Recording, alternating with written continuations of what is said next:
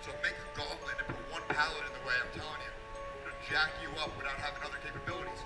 So Mike's gonna go over how to how to how to counter a fireman really, really efficient, and then and then multiple uses of the hook and some other things. So here's Mike Ciampo. right? He's going to go with the linebacker stance, the wrestling stance. What's the strongest part of our body? Okay, he doesn't even let go of this right. Just walk back. Even if he has to get low, stop. Now, I want you to do like the dog on the hydrant here. Don't worry, and lay down flat. And now, what can he do? Can he still move a victim? We're using the equipment we have on us every day to get this thing going. Anybody pick up anything so far in this rotation? This little training thing? Yeah, the safety component guys are okay.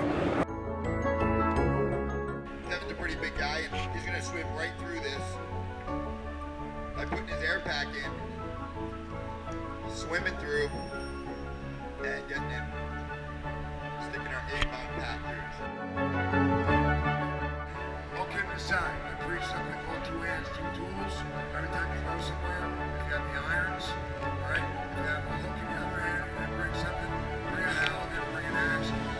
Not all the time we, we have the, the room to package the down firefighter where they're at. It could be in a narrow hallway or bathroom. So he took out a piece of webbing, in this case a prusik, and no knots, just a, quick prusik, and um, that's a girth hitch.